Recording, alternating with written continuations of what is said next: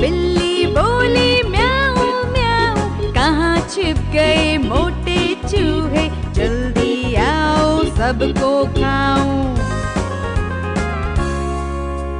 एक पतला सा चूहा बोला, मौसी, हमको माफ़ करो। सब मोटे चूहे खा चुकी हो, पतलों को तो मत साफ़ करो।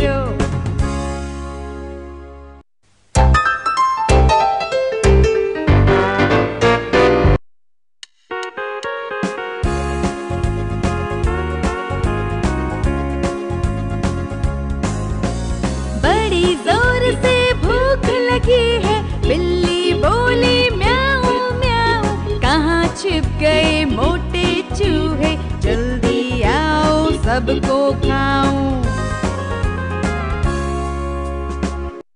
लेकिन यहाँ तो कोई मोटा चूहा है नहीं। अब बिल्ली को कैसे समझाएँ? क्यों ना किसी पतले चूहे को बुलाया जाए, जो आकर मौसी को बता दे। अगर आप उस तकिए पर क्लिक करोगे तो एक पतला चूहा आ जाएगा। तो जल्दी से क्लिक करो। अरे वाह, आपने कर दिखाया।